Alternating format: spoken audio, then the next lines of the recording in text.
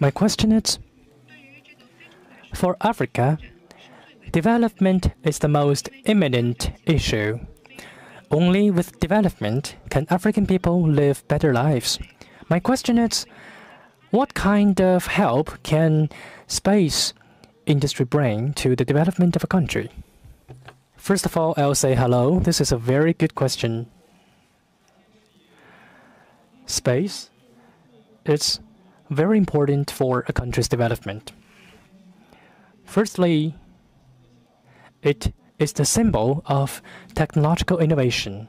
Through the development of space technology, China could enhance its technological capabilities. Second, the research and application of space technology can be branched out to many different fields such as materials, electronics, and aerospace engineering. The development of this space industry can promote the growth of other fields.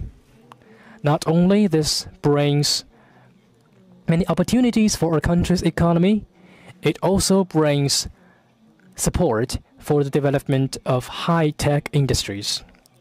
And the space industry provides a vast platform for scientific research. For example, for China's manned space planning, it includes the building of a national space laboratory and the launch of space telescopes for celestial observation.